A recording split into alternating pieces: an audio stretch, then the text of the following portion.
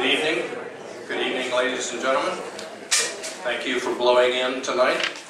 Very happy to have you here. Sometime way in the past, uh, a member of the organizing committee must have been, from Switzerland because we, we, like Swiss trains, we always believe in starting on time.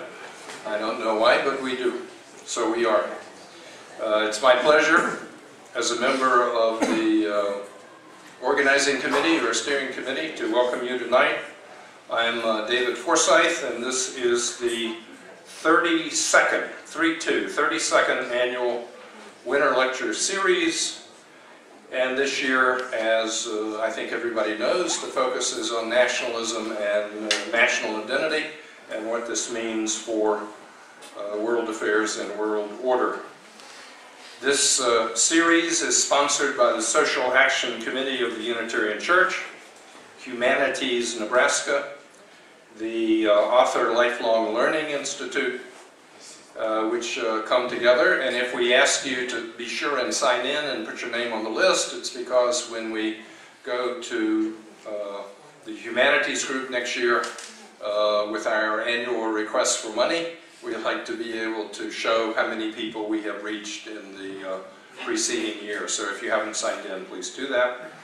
Um, please also silence your electronic devices. And as they say at the Lied Center, do not use this time to update your Facebook page. Uh, you can tell where I borrowed that uh, line from. Uh, as many of you know, we give the first hour to the speaker. We then take a 15-minute break, and then we come back for discussion and questions and answers. Um, you will find free refreshments during the break, but there will be some baskets out there if you should like to drop in a donation. That would be much appreciated, and that goes into the funding for uh, the series next year. Uh, if you are currently getting information about the series in hard copy, it would help us to switch to electronic. So the key email address is rdien, as in uh, Dean Spear, R-D-I-E-N at nebraska.rr.com. Uh, I should also like to point out that if you would like to see the videos of this lecture and the preceding lectures, the easiest way is just to go to Google and Google in, type in, in under Google, Winter Lecture Series. Go to Google, just type in Winter Lecture Series, and of the 4,000 options that come up, among the top three or four, you will see the right one for the Unitarian Church. That's the easiest way to uh, review uh, what you've heard or see the ones that you have missed. Um, I've been asked to note that uh, it's a little strange since it's about 70 degrees outside if bad weather ever seems to threaten. Um, the future, like, and it could happen, of course, in this state. We've got uh, one more speaker and then a final wrap-up panel, and it could be snowing by then. So um, if you're in doubt about whether the lecture series is going to be held on that Sunday evening, go to the Unitarian Church website and an announcement will be posted there, uh, www.unitarianlincoln.org, or again, Google Unitarian Church and pull it up. And if ever you cannot find parking in the parking lot immediately in front of the church, uh, it is permissible to use the parking lot in the high school across the street. Um, I think that is the laundry list that I was asked to cover, and it's my pleasure to be able to introduce the speaker tonight. Uh, Mahmood uh, Monshipouri uh, is from Iran. He took his early education in Iran. After the 1979 revolution, he came to the United States and completed his PhD at the University of Georgia. After that, he taught in several schools in, uh, I believe it was Michigan and also Connecticut, and currently he is Professor of International Relations at San Francisco State University, where he will, he's in line to be the next uh, department chair there, and he also teaches at Cal Berkeley. He's a very well-known scholar on Middle East affairs. He has 10 books out there, if you want to, again, Google him and look him up. Uh, one of them with Palgrave Publishers is on, and I'm not giving you the exact title, but it's basically on Muslim identity and the resulting activity in world affairs. So he is dead on about our topic in this winter lecture series. And tonight, as you can see, it's about uh, nationalism in the Middle East. And he's very well qualified to talk about uh, Iran and also the Arab world, about Syria, about Iraq, uh, about the various developments. And so we're very happy that he has taken time from uh, teaching both at San Francisco State and also at Cal Berkeley to carve out this weekend uh, to spend with us. And with that, Mahmood, with great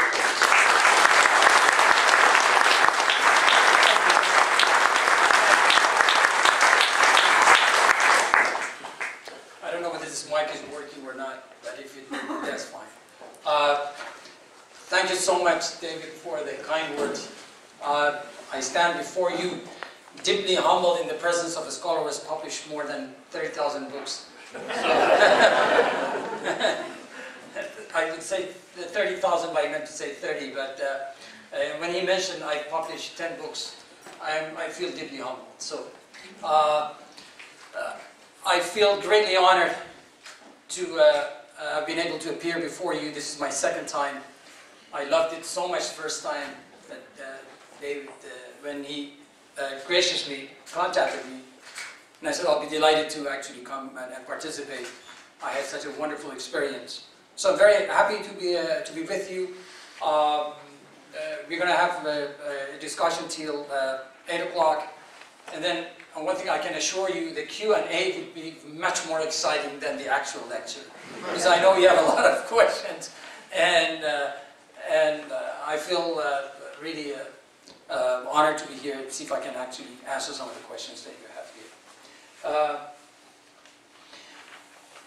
The topic of nationalism, mm, it's such a broad topic that I thought perhaps one way to handle that is to just focus on the national identities and then break it down into some notion of nationalism and then we can actually take it from there.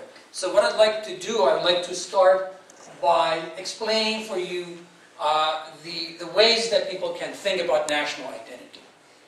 Uh, historically, national identity was known to be uh, sort of a uh, primordial type of identity, that there wasn't much of a sort of civil connection and therefore people went to their primordial communal ties. Uh, and then over time, we saw a different version of national identity, which is known as sort of a modernist version. And that version appeared with the emergence of nation-state and the fusion of the state and the society.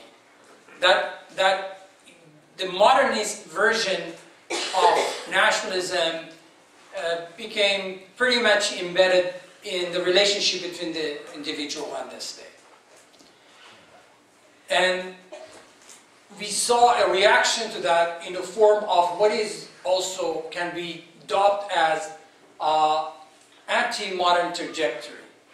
That is to say that we saw a degree of going back to the communal, the old way of doing things and there's this tendency that people always looked at the past as glorious years. And so anytime they wanted to resist the state, they wanted to show some resistance towards the state, they felt that they have to go back to the glory years of the past. And this is what we see today in the attempt of a state or pseudo a state called ISIS, Islamic State, in uh, Iraq and, and uh, Syria, that we'll be talking about that uh, a lot in the course of this presentation.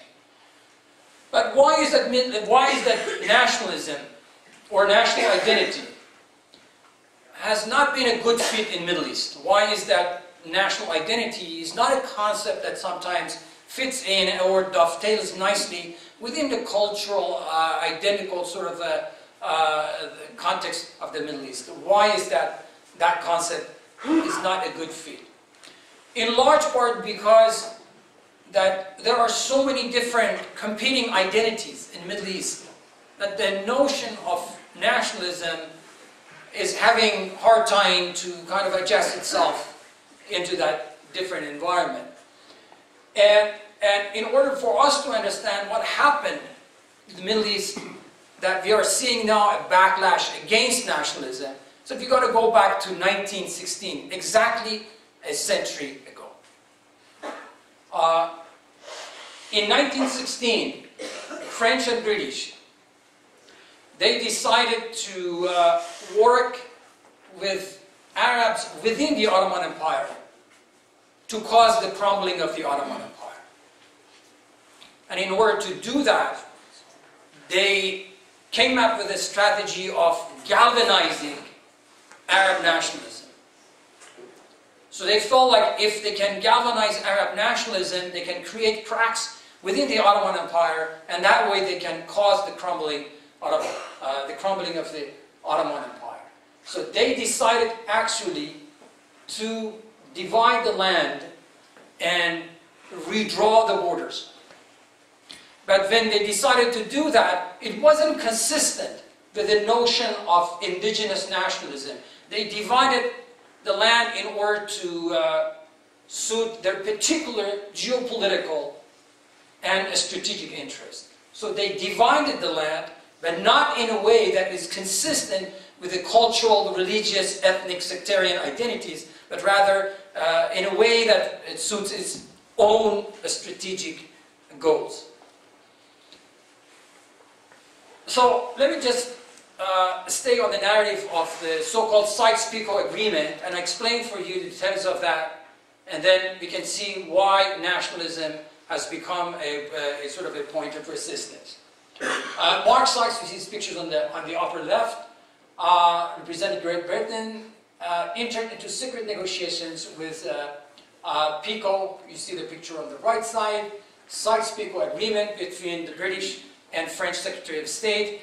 This agreement was secret. Nobody knew of that. And initially, uh, the, uh, the, the, Russians also were involved in that. But there was a Bolshevik revolution a year after that. And so the British and French excluded uh, the, the Russians or the Soviets at the time.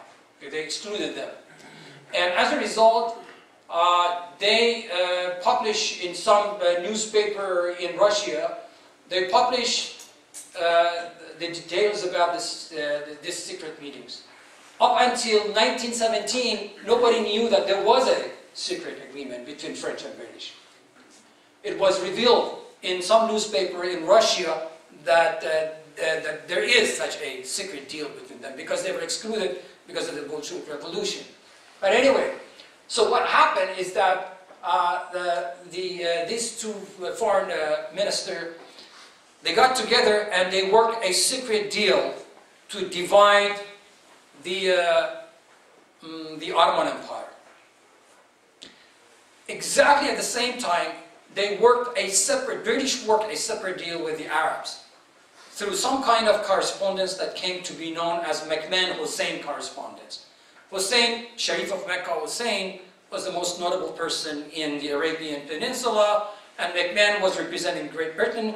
They uh, actually worked through uh, uh, 10, 13 letters of correspondence. At the time, there wasn't any email, so they had to actually actually get together and, and, and uh, correspond uh, that way. So during this correspondence, it became very clear to uh, the Arabs end of this bargain that if they cooperate with British to go after the Ottomans, and then the, the, the British made the pledge that once those lands are liberated, they can give them back to the Arabs.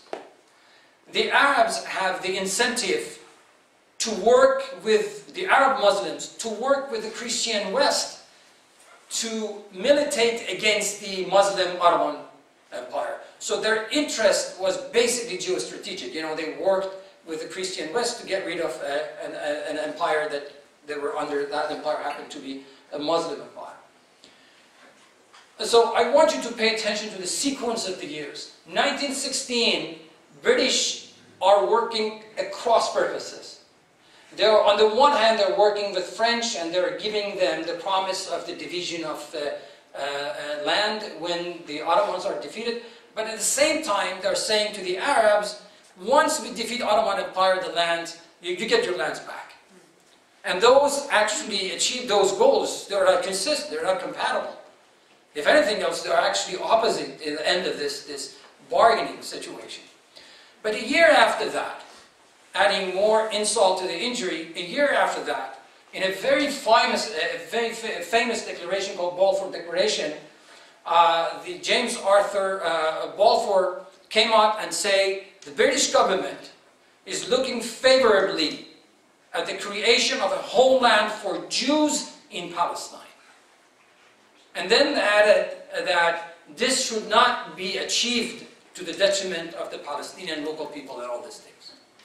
So when you look at 1916 and 1917 and look at the sequence of these things, what the British are doing, British are galvanizing the Arab nationalism, but they're also galvanizing and, and the Jewish nationalism. And these two will come to a head in a place called Palestine. That's the place that they cannot be reconciled. And hence, the beginning of the tensions, interwar period, and then the creation of the State of Israel in 1948, and then four wars, and the rest of the story, uh, you know, the Palestinian-Israeli conflict that has been going on for a very long time. This is the Sykes-Picot Agreement actually uh, started in 1916, but it was implemented after WW1 by 1919. Uh, uh, so the decision was made uh, uh, that uh, French will receive Syria, the greater Syria that included Lebanon, and the British wanted to have access to India, but the, they were very keen on Jordan, Iraq and Palestine. Largely, they wanted to make sure that they have the control of the Palestine and Iraq. And in Iraq, they wanted the northern part of Iraq, where the Kurdish population was there, because they wanted to make sure that it is to the northern part of Iraq, then they can actually connect to India. Because for them, the, the, the, the biggest prize in a strategic radar that they had was India. So they wanted to make sure that they have access to India.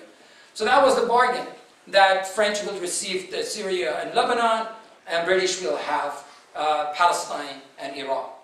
And if you look at the map, they have, you know, actually they have zones, some zones directly under their control, other zones they drew the map in such a way that they, they give the local people some degree, limited degree of autonomy, but certain areas would put uh, directly under their influence. So that's the way they actually divided uh, the, uh, the, the Middle East. So now you have the interwar period, uh, you have the wave of the Jews are coming to Palestine, uh, some of the Palestinians are selling the lands to the Jews, and some of the Palestinians who are the landowners are absentee landowners. They lived in Cairo, they live in uh, Damascus, they lived in Beirut. And so the Jews will come in wave after waves and they buy the land. And then, of course, Hitler situation, the Holocaust, you have more uh, migration of the Jews in, in the area. The population actually of the Jews is, is increasing at this time. So in the, in the post WW, uh, uh, uh, the Second World War, WW2, you have the emergence of a sense of uh, nationalism that in both application and form, uh, it varies from the different type of uh, nationalism that we have seen in, say, in Europe. In terms of application, uh, nationalism is kind of problematic because it doesn't fit the local context. And I'm using the word MENA, meaning Middle East, North Africa. Uh, the, it's problematic in the case of uh, MENA because you have different sort of competing identities along the lines of religion, sectarian, ethnic, and tribal, and all these things. But there are three forms of nationalism that one can look at those forms and say that there are a type of nationalism that is first and foremost directed against colonial powers. And so nationalism in that part of the world was uh, more in line and in, in uh, alliance with resistance toward uh, colonial power. The first form of nationalism was religious nationalism. And it started in Egypt in 1928 by Hassan al-Banna creating a party called the Muslim Brotherhood. Exactly in the same decade, we had the rise of secular nationalism in Turkey under uh, uh, Ataturk, in Iran under Reza Shah, in Turkey 1923, Ataturk created the uh, uh, secular uh, modernizing Turkey, and, and in Iran, Reza Shah in 1925 created the Pahlavi dynasty. Both of them. So if you look at 1920s, this is the decade of both religious nationalism and secular nationalism. People look at Egypt today and feel like Egyptian people are kind of sandwiched between two democratic forces of the military and, uh, and the Muslim Brotherhood, and they look at it like as if this is sort of a modern phenomenon. It is not. Actually, the roots of that can be go back to 1920s when you had this, this different type of uh, nationalism. The third form of nationalism is the one that I want to talk about tonight, and I want to actually focus on that a lot. And that, that is the form that is called religious universalism. Religious universalism is a challenge to uh, nationalism in the sense that uh, it is interested in the creation of a nation state which is very homogeneous. That's what the ISIS wants. They want to create a nation state in which uh, uh, Sunnis are running the show and uh, they're not going to accept uh, Shia and I don't know whether they have room for Christian or Jews, but they want to create a very homogeneous. And their message is the message of a religious universalism. And there's this argument that compared to the nation states, despite the fact that nation states have all kind of handicaps, shortcomings, uh, the shortcomings of the nation state pale considerably by comparison with the atrocities that have been uh, committed in the name of religious universalism. So if you want to talk about that uh, in, in, much more detail, I want to open up the can of worms for you, which is ISIS, and we want to talk about that. Me talk about the changing identities, and then we come back to the, uh, the ISIS issue. Under the Ottoman Empire, the dominant identity form was communal. Different communities were uh, somewhat autonomous. Uh, as long as you pay your taxes to the Pasha, Pasha was representing the Ottoman Empire, and the Pasha will leave you actually alone, and you can go to uh, synagogue, you can go to church, you can go to mosque.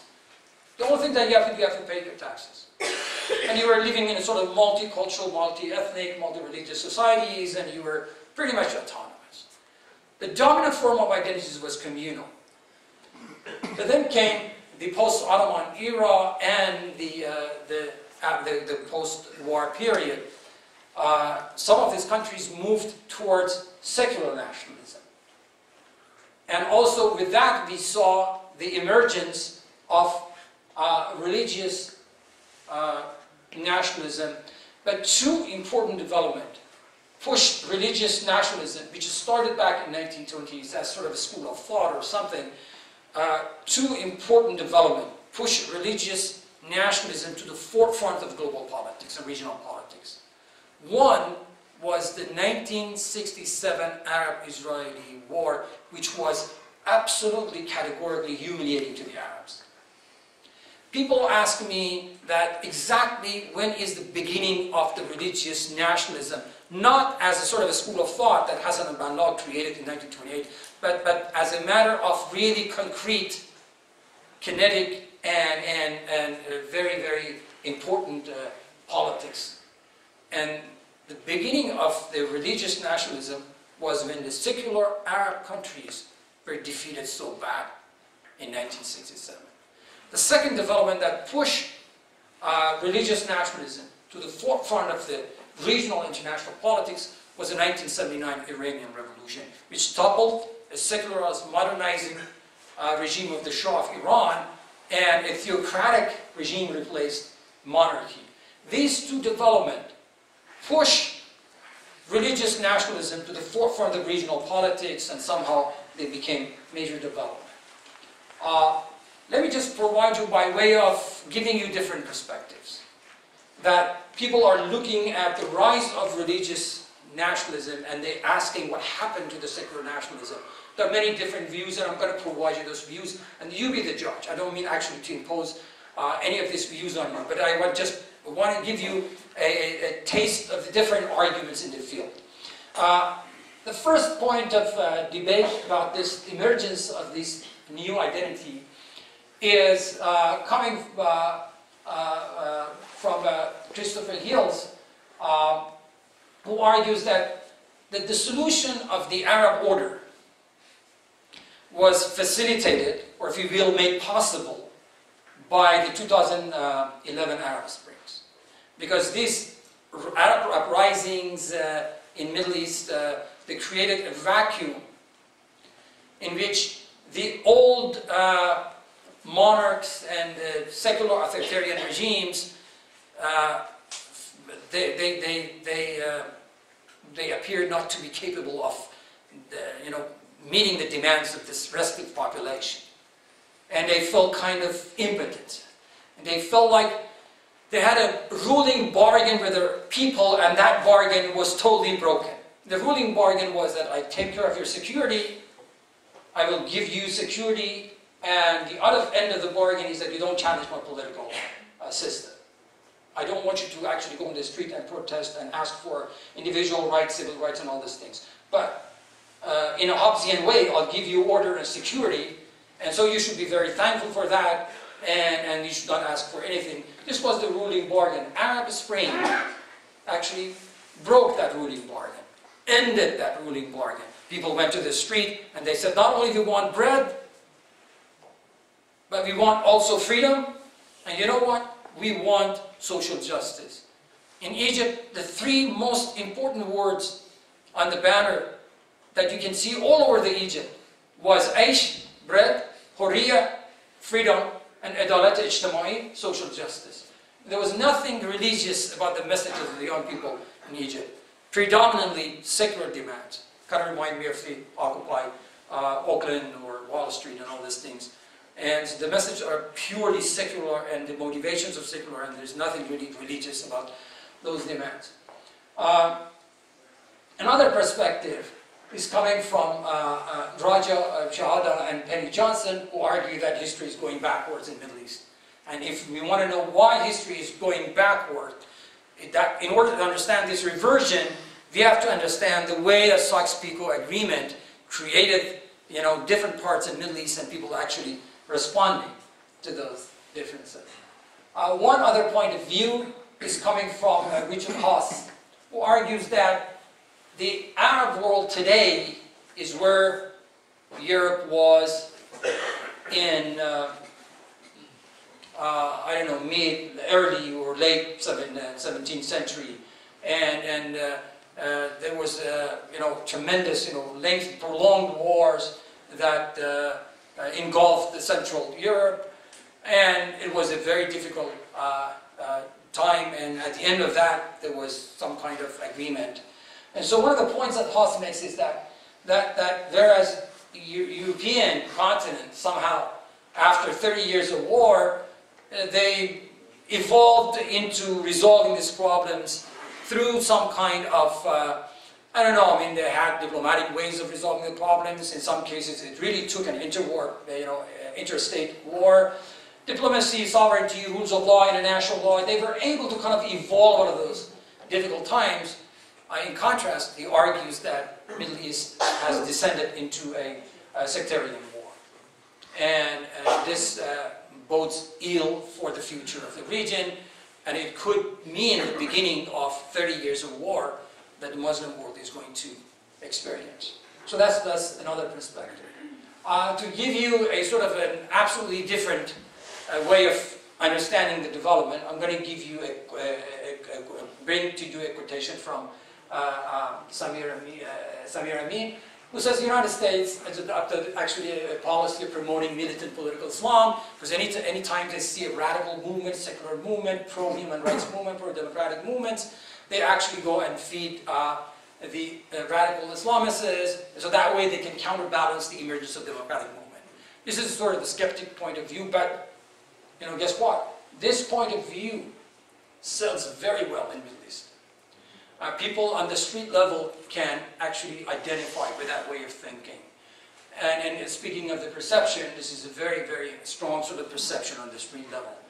That, yes, we do have radicals, we have extremists, but is also this stream is also supported and, and, and, and uh, espoused behind the scenes by the, by the outside powers because they have an interest in disrupting democratic uh, process, especially after the Arab Spring. The degree of negativity among uh, the, the, the, sort of youth in the street, on the streets of Egypt and uh, Tunisia kind of relates this message to us that that perception is very strong. But let me just get back to ISIS. I know uh, uh, uh, a number of you are interested in knowing about the ISIS. Uh, ISIS is locally known as Daesh, so I'm going to use the word Daesh, and so uh, so that uh, we replace the, the term ISIS here. ISIS was created in large part because of the U.S. invasion of Iraq in on, on March 19, 2003. Prior to March 2003, there wasn't any ISIS group or any organization of that name in Iraq. Uh, what happened is that a lot of Arabs were put in the uh, uh, prison known as, uh, I think, Bucca prison. Uh, a lot of these radicals in that prison uh, they, they came into contact with one another, they, they kind of forged some, so, so, some kind of networking. And number of the, the leaders of the ISIS later on, they're the ones who actually served in that prison in Iraq after the Iraq was occupied by the Americans. And, and so by 2006, something was created called I don't know, a shadow organization, whatever it was, it was called Islamic State in Iraq, ISI. But it was not called ISIS, it was ISI, Islamic State in Iraq. And so this group started to kind of uh, distinguish itself from Al-Qaeda. There was an Al-Qaeda in Iraq by then and they uh, have a different approach to uh, uh, making their presence felt on the political scene. So they part companies with Al-Qaeda, and they started actually penetrating in other areas, and they had a plan, they have a strategy, they work on the tactics and all these things. But then it took a while before uh, they expand the domains of operations. And they were looking for an opportunity to uh, penetrate into Syria. But the opportunity was not there because there wasn't any anything there for them to actually penetrate. But then the opportunity was presented to them uh, when Arab Spring happened and Syria, uh, the wave of the Arab Spring knocked the door of Syria. And, and that's where ISI became ISIS it, was, it became Islamic State of Iraq and Shams, or Iraq and Syria, or Daesh. It became Daesh when actually it went into Syria.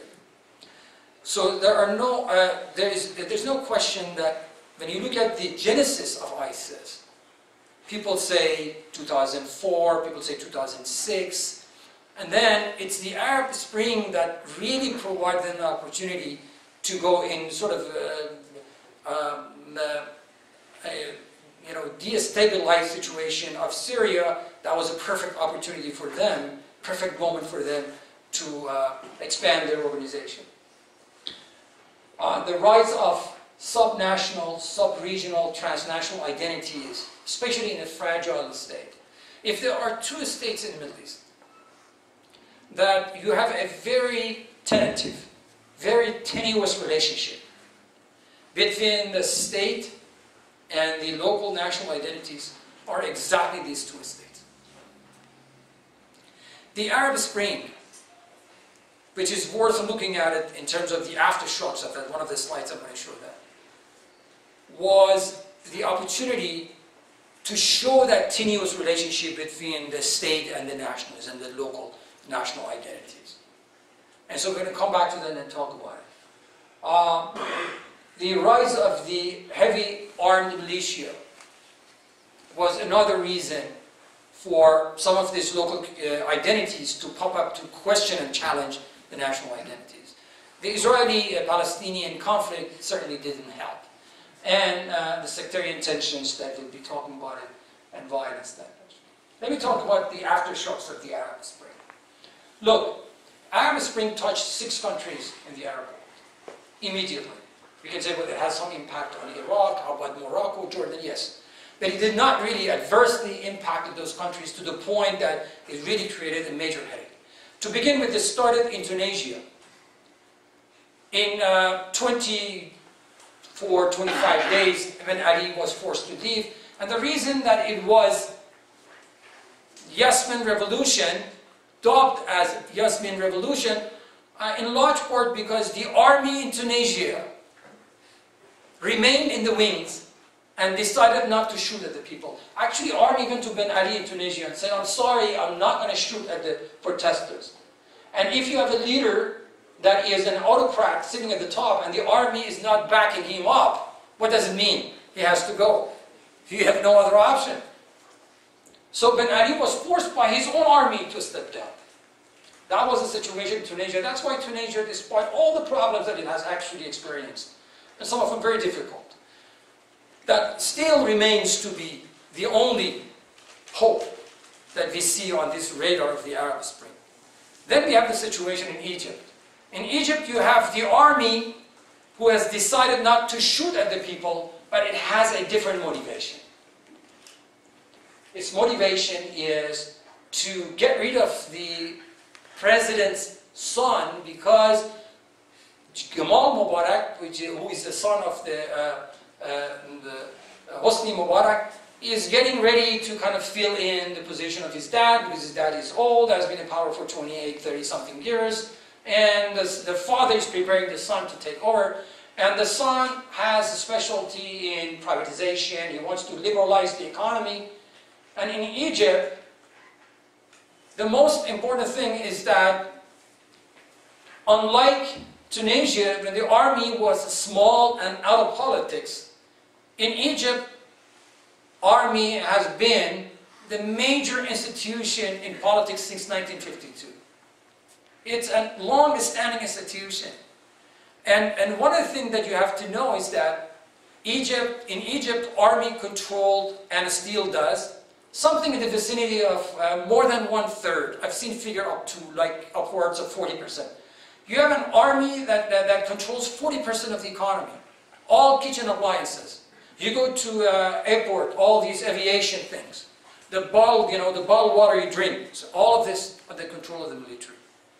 An army actually controls 40%.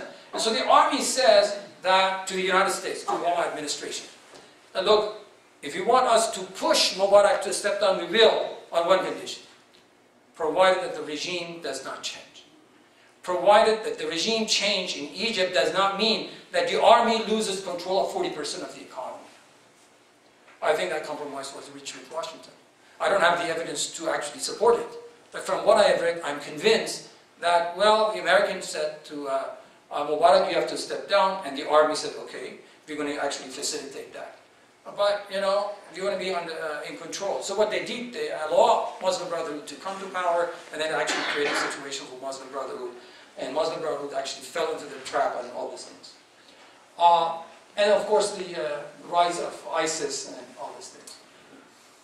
Back to the ISIS. Let me explain for you what the ISIS is, and then a little bit of explanation about what the sources of their income is, and then we'll take it from there.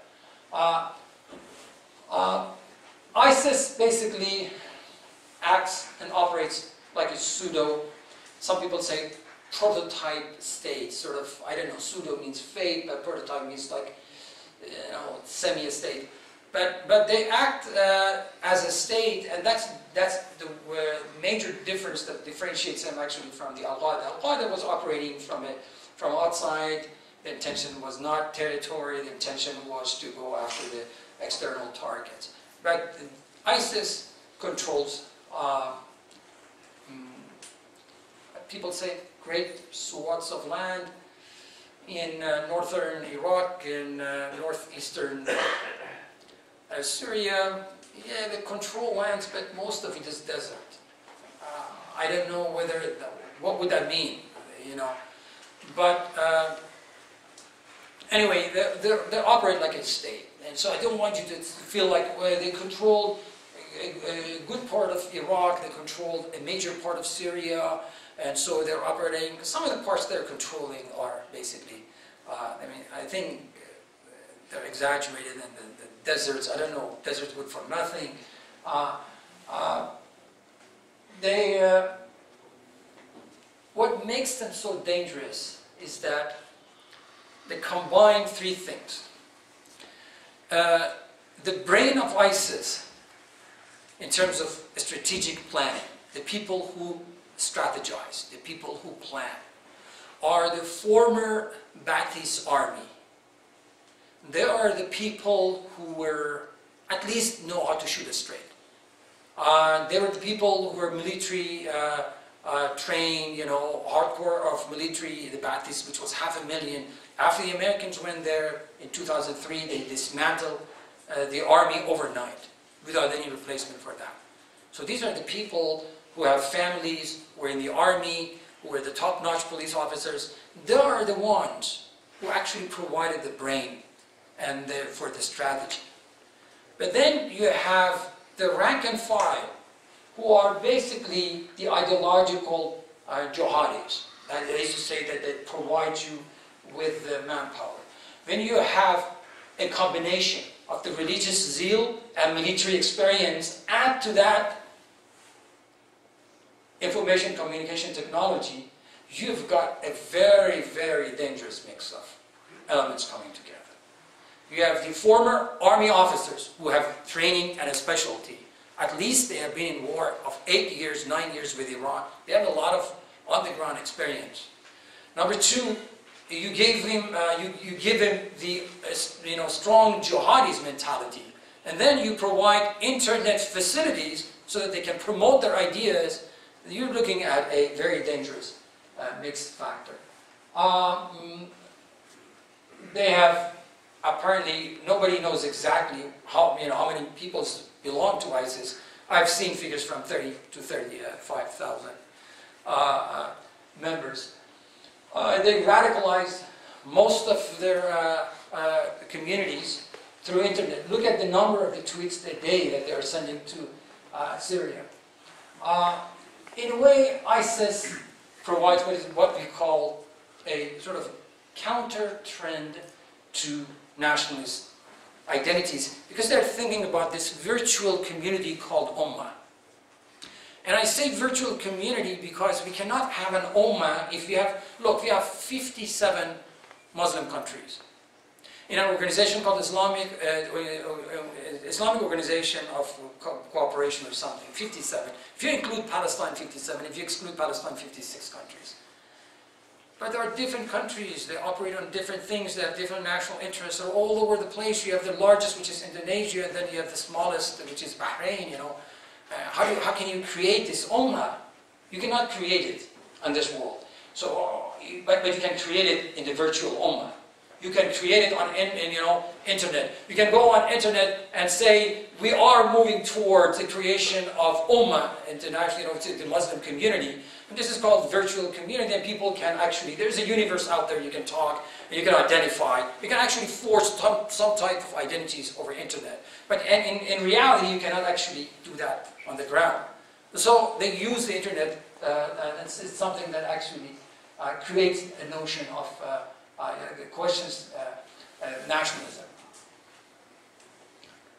uh, they are the opposite of what we know since nation, the notion of nation state was created back in 1648. Uh, so therefore they question sovereignty, they do not recognize borders, uh, they do not believe in international law, and they do not actually agree on, on anything that modern nation states agree on. So they question everything. And the reason that they question everything, because they go back to pre-Sykes-Picot agreement of 1916, and they are visualizing that world, that community they had. Uh, the, the, the Arabian Peninsula uh, was not like Israel, Jordan, or Palestine, or Iraq, or the Arabian Peninsula was, was one peninsula. Different tribes, different groups live in different parts of it.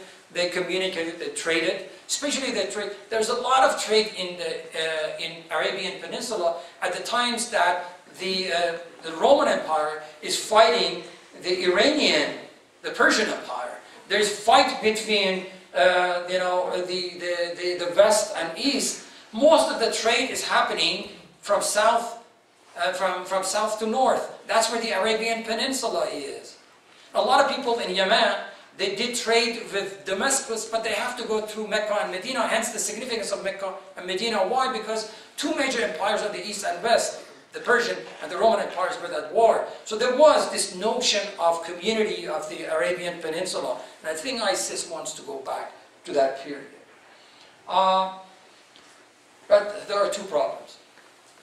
One is the problem of methodology. How in the world you can create caliphate? There are people in Pakistan called Jama'atul uh, Islami. They claim that uh, caliphate uh, must be started from there. There are people in Palestine belonging to a, party called uh, Hizb ut-Tahrir. They claim that they could be heir apparent to caliphate. So methodologically, if you want to create a caliphate, you know, how do you go about creating it? Number two is the question of territoriality. Okay, so what are the parameters of this caliphate? And so it remains to be an ideology, but nobody talks about the practicality of that. What are the sources of income for ISIS? Uh, you'd be amazed that, uh, that how many countries in the world, uh, how many uh, uh, companies, countries in the world are cooperating somehow uh, surreptitiously uh, and anonymously with this. I have a list of, uh, this, this is published by Conflict Armament Research. Conflict Armament Research, C-A-R, CAR. Uh, shows that 51 companies, 20 countries have helped ISIS to develop uh, the so-called uh. And there are many of these countries that have had a hand in helping ISIS to uh, develop improvised explosive devices. I have the list of the country, the list of the companies, and the list of the chemical precursors, the type of materials that go into this. And you'll be amazed. I have a letter, this is a document, a letter from a company in Turkey, uh, Gultas uh, Kimya. In this letter, uh, dated 2005, uh, sorry, 2015, uh, 10, 31st uh, 10, so October 31st, 2015, the company is asking the member of ISIS, uh, can, can, can we make sure that these transactions between us and you uh, remains anonymous. They're begging, they're begging the, the, the documentations here. Brazil, Turkey, Romania, Turkey, Turkey, these are the companies. China, Turkey, Russian Federation, Turkey, Turkey, Belgium, Netherlands, Turkey, United Arab Emirates, Iraq, Iraq, and the list on. So you do have a lot of private sector companies that are actually selling stuff to ISIS. And so ISIS has become sort of a, a, pseudo-state, but has ability to build its own improvised uh, explosive devices. Look, uh, they, one of the things they do, they take people, you know, for, you know, uh, ransom, uh, hostage taking, and they know which tribes is rich, they go after those tribes, which European journalists are in the field, uh, and they go after them, and we have seen in the past, you know, French, Germans are willing to pay them to get their uh, journalists back. Uh, they take as much as $1 million, uh, you know, the combination of oysters, smuggling, ransom payments, and they sell oil in black market to, com- you know, to countries like Turkey. It's amazing that Turkey buys, you know, uh, smuggled oil and gas from them, and, and then at the same time, Turkey is a member of NATO, Turkey, Turkey controls a large border with, with Syria. Amazing, when, when I read about ISIS, I cannot think, you know, what's going on, you know, why is that so many companies are involved in selling stuff to ISIS? And so that's, that's something that we need to be uh, mindful of. Uh, on, I want to actually look back to the question of uh, uh, identity, and then as we, uh, we have approximately nine minutes, we can actually wrap up things for you. One of the arguments that uh, Marc Lynch, is at George, uh, uh, not Georgetown, George Washington University, argues, is that um, we have seen the rise of these subnational groups or ISIS and all these groups, but at the end of the day, the states in Middle East, like other states, they've learned how to adjust under the pressure. And if anything uh, else, you know, nationalism and nationalistic sentiments hardly are fading away. They're still uh, uh, surviving. Uh, of all the ism in the world that I know, socialism, capitalism, communism, this is nationalism, is one ism that it just won't go away. And the uh, news of the prediction of its decline and demise are overstated. They still manage at the end of the day to survive. And one of the points that Professor uh, Marc Lynch makes is that you see this ostentatious display of the nationalistic flags during the Arab Spring. Egyptians use their own flag. You know, Jordanians very proud of their flag. And look, Sykes-Picot Agreement created this uh, unnatural artificial states. If you look at the map of Ottoman Empire, you have you don't have something called Iraq. You have Mosul in the north. You have Baghdad in the center. You have uh, Basra in the south. Not to mention Kuwait. So what the British did actually by the, uh, uh, the, the stroke of the red pen, they created the borders and they put this one, you know, Kurdish area, one uh, Sunni and then Shiites, they put them together and they said, let's call this the country of Iraq. And they got one of those people who helped them defeating one of the sons of Sharif, Faisal, the sent Faisal from Syria to uh, Iraq to be the, the king who was there till he was overthrown in 1958. Uh, yes, we understand that. That Sykes-Picot created these artificial and unnatural countries. But a century has passed, and you know what? They have become the realities that we have to deal with them. It's, there's no worth in beating a dead horse. You know, this, these are states you have to see them when they play soccer against. You have to watch when Bahrainis are playing soccer against uh, Saudis. Saudis are the big brother, Bahrainis are the little brother. And they, when they play, they don't like each other because there are this nationalistic sentiments that they, they have developed. You know, so uh, I don't know any, any nation state on the face of the earth, under most circumstances, I would, I would argue that states uh, are not going to actually let part of their territory to be bisected or partitioned without a fight. This is not going to happen. Nationalist sentiments are very strong uh, among them. So basically, uh, uh, one of the points that uh, Lynch says is that uh, you see during the, the, the, uh, the, the, apex, the pinnacle of the Arab Springs, people are showing their flags. in the case of Syria, and one looks at the case of Syria, you have to become convinced that this is the end of the Arab nationalism. Because you have Arab countries that are uh, you know, helping other Arab countries to break the state uh, apart. Uh, Saudis are helping the opposition to uh, Bashar Assad. Qataris are putting money there. And the, the, in the other Arab countries, like Kuwaitis, they're investing on the breakup of the Syria.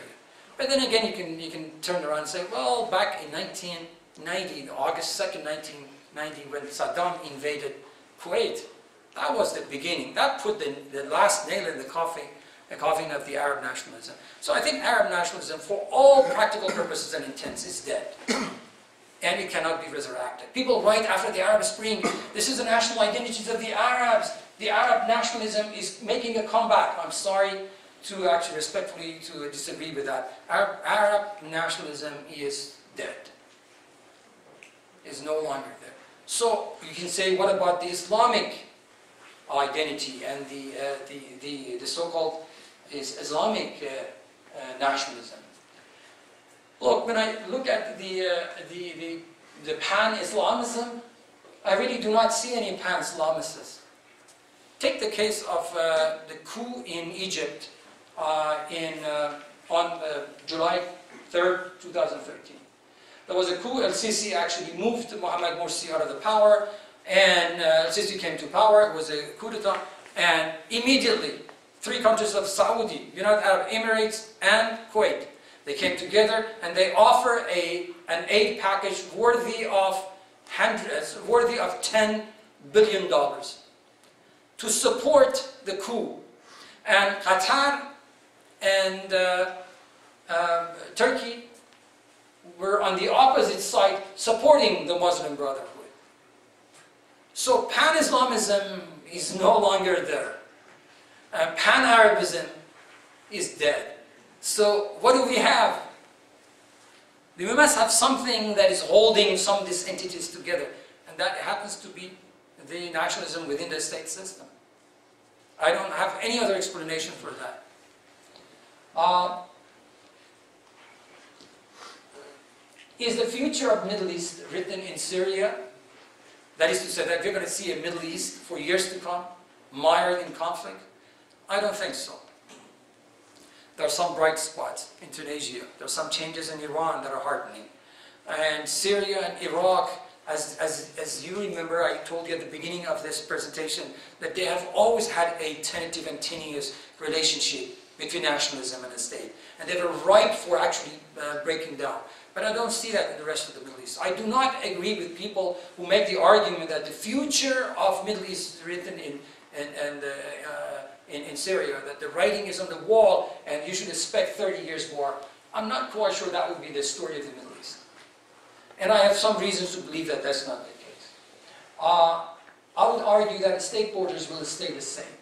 Uh, and the alternative to a state system in Middle East is far But there would be changes within the borders. You're going to see more, you know, uh, autonomous region for the Kurds. There would be separations of uh, the Shia and, and Sunnis. There would be within the state some changes because of these Arab Springs, but not the state itself. The borders are not going to change. There are some bright spots in the Middle East worthy of attention. Uh, one is Iran. Is Iran ready to move into the near future, I think into something which is different? Uh, I, I, see that happening.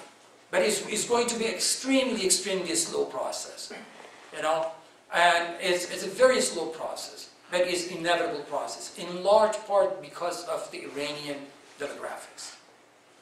You have 69% of the population below the age 30. This is a young population. They no longer go to mosque. The Islamic, uh, the, the, the, is, you know, political Islam does not appeal to them. They're hooked up with the world. They're connected with it. They're wired up. They are all behind their laptops. And they know about, uh, you know, all of this, you know, theories, of globalization, movements, and all these things. They really are eager to engage with the rest of the world. They want to work uh, with the rest of the world. Yes, there was an excellent uh, uh, op-ed piece in New York Times as I was coming to Lincoln, I was reading that. Well, the Iranians are more in line with kind of diplomatic engagement, uh, political engagement, economic engagement, but they're not in the business of civic empowerment, you know, democratic representation and human rights. Yes, that's true. But knowing what the region is, and I'm looking at Iran, and I'm looking at the pace with which Iran is moving, it's a very slow pace. But at least we have some elections. And elections in Iran happened on uh, February 26. Not a single shot was fired. But there was elections and hardliners lost bad. They were humiliated. humiliated. And th there is no reforms no longer in Iranian parliament. We have moderates. And, and moderates are the ones who would like to actually work towards the ending the nuclear deal and work with others and all these things. And so there's a little bit of hope there. That's the, that's the. Let me just uh, move to uh, conclude uh, because we, uh, actually, if I, if, can I have just one minute to wrap up things? Yes.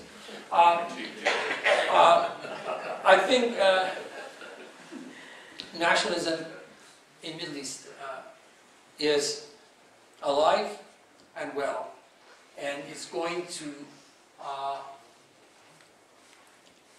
is going to be the most important development, even in unnatural and artificial states. I think a state system will preserve.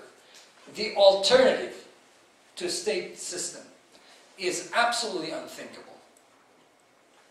Uh, look, in Lebanon, which experienced 15 years of civil war, the reason that Maronite Christians and Shia Sunni Muslims, they agreed on a social contract to end the civil war was not that the agreement arose because of reconciliation and resolution of the problems, sectarian problems. It was they look at the alternative and they felt that alternative is unthinkable, is far worse, and they cannot actually move along those lines. Fragmentation will happen. Uh, some people say, well, Iraq should be partitioned. It's in the long-term interest of Syria to be partitioned. Fine. You know, maybe, I don't know, maybe that's the best alternative. But if you ask me, I would say today's partition scenario, uh, they, they look even worse. So I don't see any alternatives. And lastly, the best way to fight uh, jihad, this jihadi Wahhabism, Salafism, is that if we can find ways to uh, prevent the local extremism and local alienation. So the solutions should come from uh, the region, not from outside. Thank you so much. Been great audience.